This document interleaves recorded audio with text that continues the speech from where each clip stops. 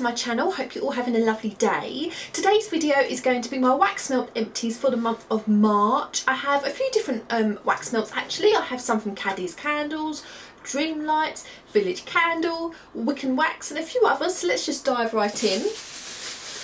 Okay.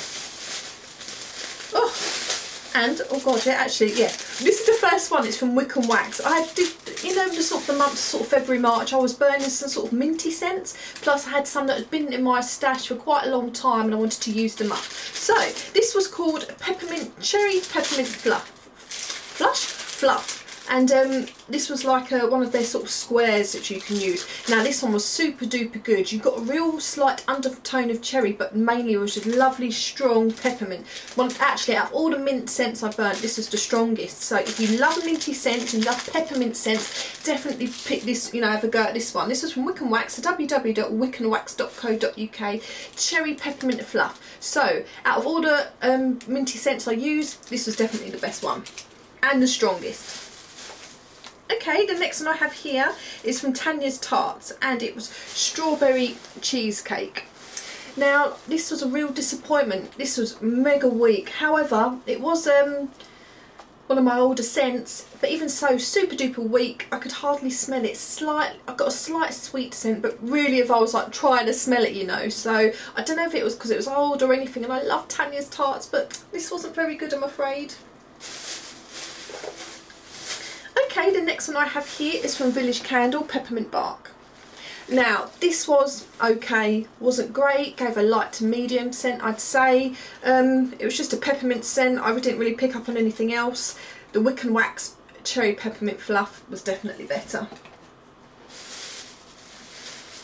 Okay, the next one I have here is some Yankee Candle Simply Home in Cherry Vanilla gorgeous fab scent, gorgeous cherry with the undertone of vanilla, really lovely juicy strong scent. You should definitely pick this one up if you can.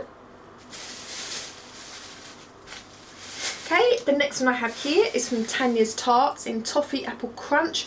Gorgeous, gorgeous, gorgeous scent. Super duper strong. I didn't even have to use both of the you know, I could basically cut this in half and use it. It was absolutely fab. Gorgeous toffee apple, creamy caramel with the apple undertone.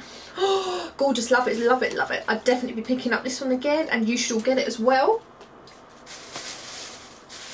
Okay, the next one I have, ones I have here are from Dreamlights. I have got a separate review on this so I won't go into too much detail but this one here is gingerbread and a nice scent though not too strong, one of the lighter scents I got from them. Next one is Thai lime and mango. Gorgeous, gorgeous juicy scent of the Thai lime and the mango. Um, a medium scent throw. Um, I just like it to last a, last a little bit longer. Um, rhubarb and blackberry. A lovely, gorgeous, true to life scent. This one and pretty strong as well. But the strongest out of all of them was pomegranate noir gorgeous musky pomegranate noir, really super duper strong. Um, sort of a seductive musky scent, so if you love those sort of scents you should definitely try this one. I believe they're £1.25 each. And I have a couple more in here, from I think these are from Tanya's Tartes, yeah. I have two, so I'll do them both at the same time. Um, Seaside Rock and Peppermint Clouds. Now, these were okay. Um, think the Seaside Rock was a little bit stronger than the Peppermint Clouds. This was a, a nice light scent of peppermint, so if you do like scents that aren't overpowering, this would be for you, but just unfortunately just wasn't really strong enough for me. And this was a sweetie sort of scent, um, again on the lighter side, but not too light, say light to medium. So if you like sweetie kind of scent, you'll probably like this one, but I just like it to be a tad stronger. So there's all my wax melt empties for the month of March. I do hope you enjoyed the video and found it useful. Please chat to me on all my social media. I'm on, I'll leave the links below. I'm on Instagram, Twitter and Facebook and I hope you have a lovely day. Bye!